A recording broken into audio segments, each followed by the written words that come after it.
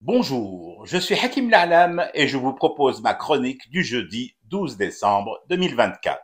Elle s'intitule La régie derrière le rideau vert. L'asservissement de nos neurones, ou du moins ce qu'il en reste, c'est tout de même quelque chose. Tu te lèves le matin et tu fais le compte de tout ce que tu as imprimé dans ton cerveau en jachère la veille, à l'encontre de ton plein gré consentant, comme dirait ce cher Richard. Observez la position haute dominante du bras de Trump lorsqu'il serre la main de Macron.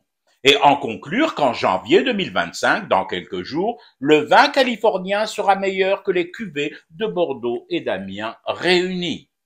Notez aussi que les grands dirigeants de ce monde forment la même géométrie bizarre, un triangle avec leurs mains et leurs doigts joints à chaque fois qu'ils s'adressent à nous. Dans la foulée, tu es convaincu des similitudes entre la cérémonie d'ouverture des derniers Jeux olympiques, Paris 2024, et celle de la réouverture de la cathédrale Notre-Dame. Tu te dis, mais à voix basse, des fois que les oreilles de Giuliani et de son officier traitant du Mossad traîneraient à ta proximité, j'allais presque dire à ton proxy, tu te dis que les nouvelles tenues des cardinaux présents sous la nef de Notre-Dame ressemblent furieusement aux robes des imams de la Zawiya Qarqariya.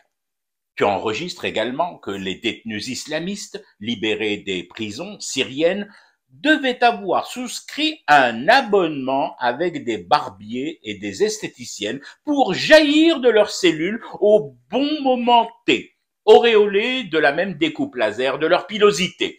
Clic-clac Kodak.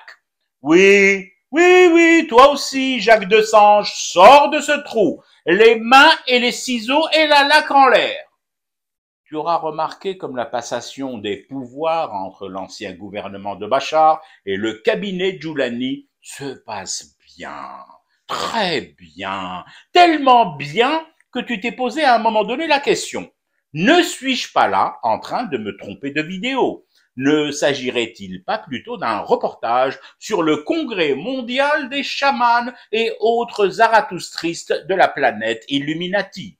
Ils sont là, souriants, ils se serrent la main. Bon, peut-être que certains serrent les fesses plus que d'autres, mais ça n'apparaît pas à l'écran.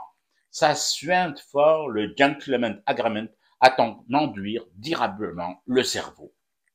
Il est impossible que ces gus, de part en part de la table des passations chargés de loukoum et de baklawa, ne se connaissaient pas avant le grand assaut libérateur. Tu vas même jusqu'à feuilleter le catalogue des couturiers de la City, tant les chemises et pantalons portés par Giuliani et Zelinski semblent tout droit sortis de la même prestigieuse shop de tailleur londonien pur jus MI6.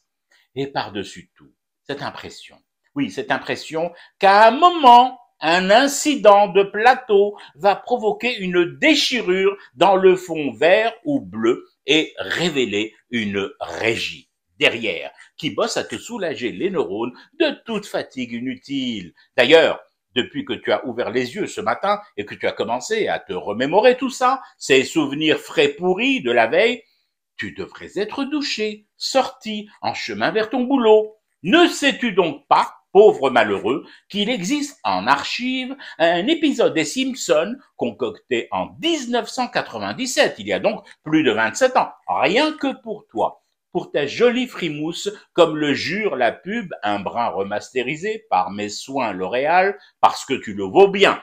Cet épisode a évoqué dans le détail la grosse engueulade que tu vas te recevoir tout à l'heure, un jeudi 12 décembre 2024, de ton patron pour retard aggravé.